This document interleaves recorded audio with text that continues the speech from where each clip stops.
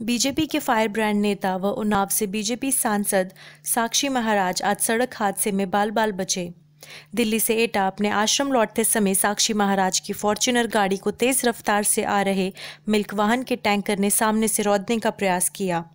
वो तो ईश्वर की कृपा रही कि वह इस हादसे में साक्षी महाराज बाल बाल बच गए और इस दुर्घटना में साक्षी महाराज के हाथ में मामूली चोट आई है और इस टैंकर ने दो बाइकों को भी रौन दिया, जिससे बाइक पूरी तरह चकनाचूर हो गई।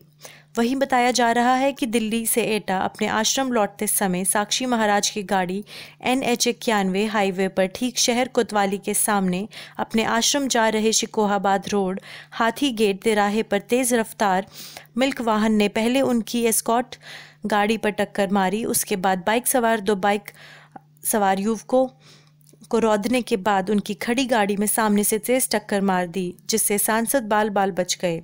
लेकिन गनीमत यह थी कि भाजपा सांसद साक्षी महाराज हादसे में बाल बाल बच गए और उनके हाथों में मामूली चोट आई है, जिससे हाथ में जख्म भी हो गया है।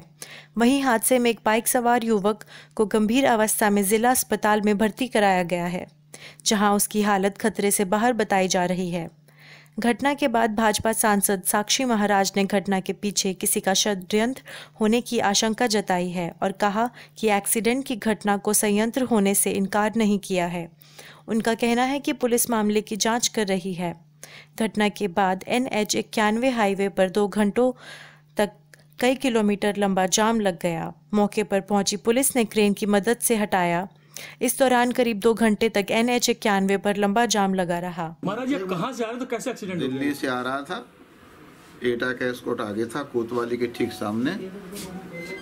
शराब के नशे में ड्राइवर उसके क्या इरादे रहे? पहले उसने एक्सीडेंट किया एस्कॉट को।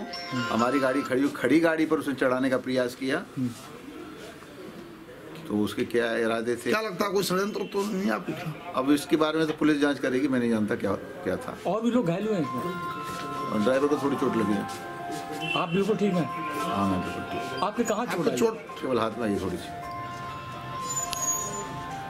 एटा से आरबी द्विवेदी की रिपोर्ट।